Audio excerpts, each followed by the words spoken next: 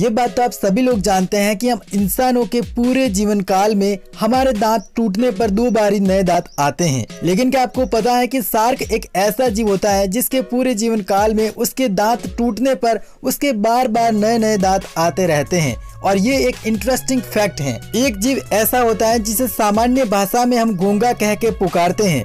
तो इस जीव का फैक्ट जो है वो ये है कि घोंगा तीन सालों तक बिना जगह सो सकता है। क्या आपको पता है कि एक जमाना ऐसा था जब कंगारू पूरी दुनिया भर में पाए जाते थे?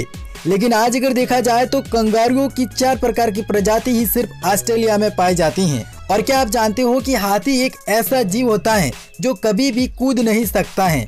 इसके अलावा हाथी से जुड़ा हुआ एक और फैक्ट आपको बता दूँ कि हाथी सिर्फ़ दो या तीन घंटे ही पूरे चौबीस घंटों में नींद लेते हैं। तो ये थे आज के इंटरेस्टिंग फैक्ट आई होप कि यू लाइक दिस चैनल को सब्सक्राइब करके बेल नोटिफिकेशन ऑन करना बिल्कुल ना भूले। धन्यवाद।